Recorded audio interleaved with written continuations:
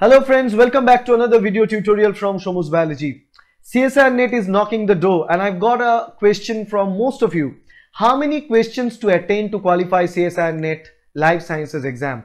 If it's CSIR Net Life Sciences exam or it is CSIR Net Physical Science, Earth Science, Chemical Science, anything you take.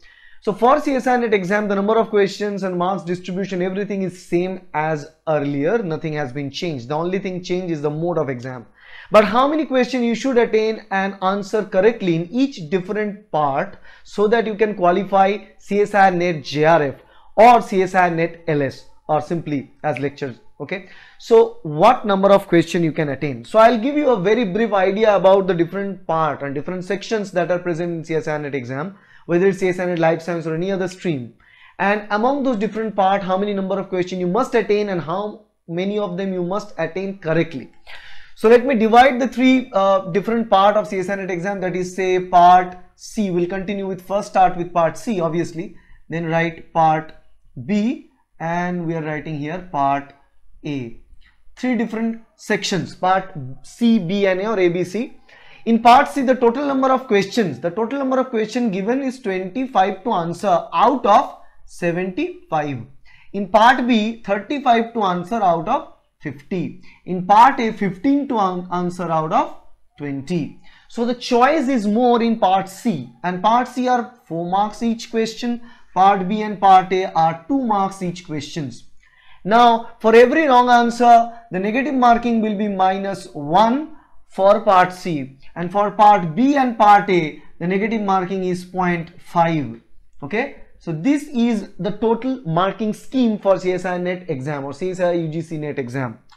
Now what we need to know is how many questions you must attain to answer that. As per my experience, I always prefer and tell students to answer 22 to uh, 24 questions in part C. This should be your target 22 to 24 questions. Or let's assume that the, the minimum question here is 22 and the maximum is 24 you can attain. In part B, uh, it's again 20 to 22 questions, not much. The reason I keep less number of questions in part B because part B is memory based question. It's not possible for you to answer every single question in 100% confidence in part B. But if you prepare well, just like the preparation that we do in Shomu's biology coaching, we make our students strong in part C so that you can answer most questions from part C that is 22 to 24 okay and the last thing here is part A and you can attain 8 to 10 questions in part A that should be your target. So 22 to 24 20 to 22 and 8 to 10 number of questions. Because you have more options in part C you have more chances to answer questions in part C. Now let's do a quick calculation. For every single part we have a minimum number of questions and we have a maximum number of questions right? So for a minimum number of question first we'll calculate and then we'll calculate for the maximum number of question if you attain okay? So this is little tilted make it straight first. Okay. So if you answer 22 questions in part C and all of them are correct you will get 88 in part B let's break them down from here. Okay.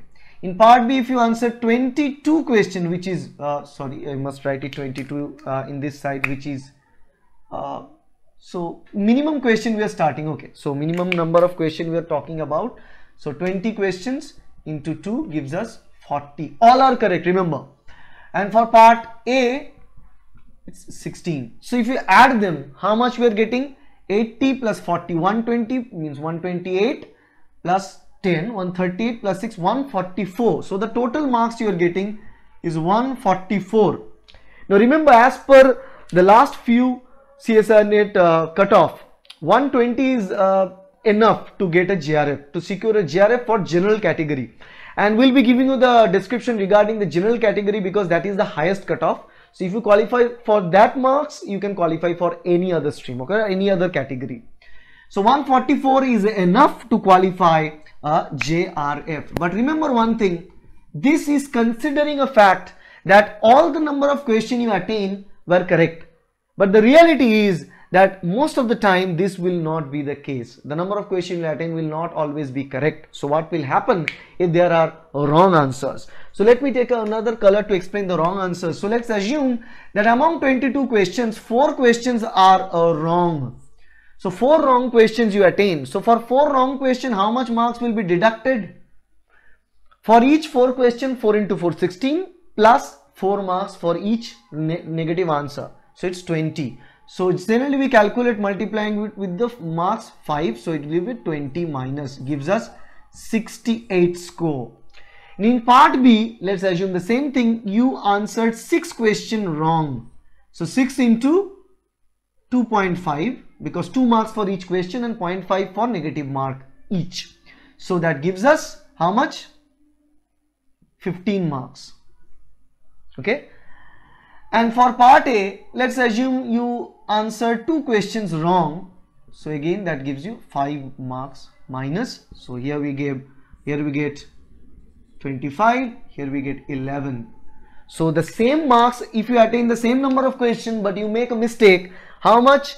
4 questions wrong in part C, 6 wrong in part B because part B has more chance of uh, taking wrong answers and 2 wrong in part A. You are getting 68 plus 20 to 88 plus 8 93 94 104 now this is a borderline answering 104 now remember 104 means 52 percent.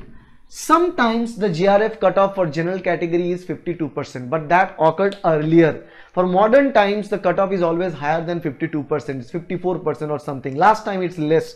But it's a chance that JRF may be more than 104. So you may not qualify for JRF, but 104 is a good score to qualify for LS. So if you are targeting LS, then this should be your target 22 for part C, 20 for part B and 8 question in part A to attain. And you still have a room for 4 answers wrong in part C, 6 wrong in part B, 2 wrong in part A, still you can qualify for LS. But it may not guarantee the qualification for JRF. So what you need to do to qualify for JRF? Let's look at it. So for JRF you need to attain more number of questions. So let's take this 24 question you take into 4 96 okay then you get this one 22 into 2 44 and in this case 10 into 2 gives you 20. So now the total number of questions that you answered 96 plus 44. So imagine 140 plus 20 160. If you take 24 in part C, 22 in part B and 10 in part A, you still score 160 if all the question you attain are correct. 160 is a very good score. No matter what the cutoff is, you will always qualify JRF in a general category. Congratulations. But again, taking that wrong answering part into account. Let's say assume the same thing. You answered four questions wrong in part C. So 4 into 5 gives you 20. So entirely it becomes 76. Again, uh, 6 wrong in part B. So that will be same thing 15 marks debited. So how much you are scoring? 29 from here. And then last thing again two questions wrong. So 5 marks debited 15 so add these marks now. 76 plus 30 gives you 106 but it will be 105 because it's 20 now 105 plus 15 gives us 120 that gives us 1 2 0 which is kind of exact borderline marks to qualify JRF in a general category. Because we haven't seen the cutoff to raise like above 120 or 60 percent in recent years. So 120 or 60 percent marks is good enough to qualify for JRF in a general category. So if you attain 24 questions in part C make four of them wrong attain a 22 question in part B, two of them are wrong and attain 10 question in part A, chances are two of them are wrong and part B, six of them are wrong, sorry. But you can still qualify for JRF in a general category with this amount of questions. So now let's calculate the degree of error that you have. Here you have a degree of error of 4 questions wrong out of 24. So how much percentage that will become? let's assume to be uh, like uh, 4 approximately 4 point something. So you'll get 16% to 18% chance of error in part C.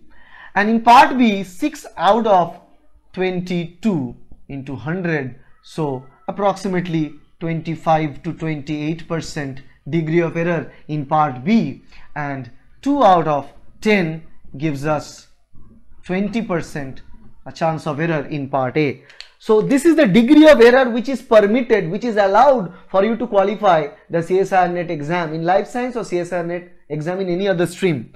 The degree of error that is permitted for you to qualify JRF is least for part C. That's why prepare part C very confidently. Answer part C question very confidently. If you're not confident enough, do not answer. Because if you answer more than 20% wrong questions in part C, your chance of qualifying JRF is going down. Although it may happen that you can answer more part B questions, but that's a different scenario. Generally speaking, most of the people, if they don't do well in part C, they don't do well in part B as well. So your degree of error is 16 to 18 percent. So how many number of question you answer, you should answer, you can easily calculate that based on the number of question you attain from part C. Second thing for part B and part A, the degree of error is 25%. So you need to answer one right answer. I mean, you can take one wrong answer out of every four question you attain. If you attain four question, one of them are wrong, it's still okay for part B and part A. But for part C, if you answer three question, one of them are wrong is bad. If you take, if you take like five question, one of them are uh, wrong is also bad. So out of six question you can take one wrong answers in part C. In part B out of four question part A out of five question that you can answer wrong. So this is the idea okay. So for every six question you attain one can be wrong in part C. You can still qualify JRF. In part B out of four question one question can be wrong still you can qualify. In part A out of five question one can be wrong. You can still qualify okay so this is the idea that you always keep in your brain. Okay so if you answer 18 questions then what is the probability of wrong answers that can still permit? Three of them can be wrong. More than three wrong and your probability to qualify JRF in general category for that CSIR NET life science exam decreases. The same thing applies for uh, part B and A respectively based on their ratio that I just gave you so this is a detailed technical analysis of the CSIR NET Life Science exam and CSIR NET exam in any other stream. Uh, so this is the number of questions that you should always attain. Now if you prepare part B very well, you can recall things, you can remember stuff very well, then you can also increase the number of questions that you can attain in part B that can increase the chance of scoring more. But most of the students that I prepare here in Shomu's biology they prefer in part C and we also focus in part C more compared to part B. A is also good. So the chances of error in A is decrease in less because uh, it's mathematical questions and you know which answer is correct or wrong. You can guess that without knowing okay? So this is the idea of every single section in CSIR NET exam. So that's all about it. I believe you got your answer of how many number of question you need to attain. And not only that but also how many wrong answers you can still give to qualify CSIR net JRF so many myth like if i uh, attain wrong answers i will not qualify and all. These are wrong. It's it never wants you to answer every single question with 100% confidence. You can make mistake. The mistakes are allowed until you exceed the probability limit. That's what i told you okay? So that's all about it. If you like this video please hit the like button share this video with your friends subscribe to our channel to get more videos like that. And we will uh, publish a new motivational video for CSIR net. So watch that and share with your friends so that everybody get pumped up for the CSIR net exam in the upcoming times. Thank you everyone. Bye